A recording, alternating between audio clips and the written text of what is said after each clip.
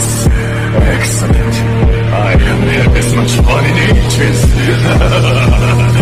what did you say your name was?